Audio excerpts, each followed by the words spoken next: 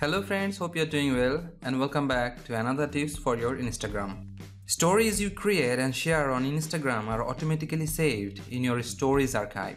So there is no need to save them in your phone. But if you wish to like to save your stories in your photo gallery, in that case this video for you only. So let's see how does it work. Tap on Instagram, go to your profile and tap on top right corner the three dot line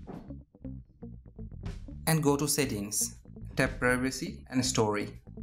From here you can see there are a few more options. You can hide your, stories from people. There are a lot of settings. And scroll down you can notice savings.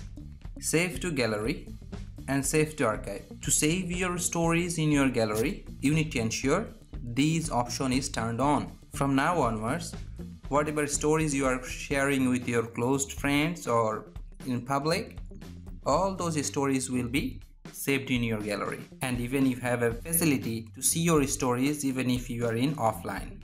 Remember if you delete a photo or video from your story before it disappear it won't be saved in your archive. So that's all for these tips today. If you would like to get more helpful tips like this hit the subscribe button and turn on bell icon to get notified immediately when I release any videos and you can keep watching the new videos as well. Take care, have fun.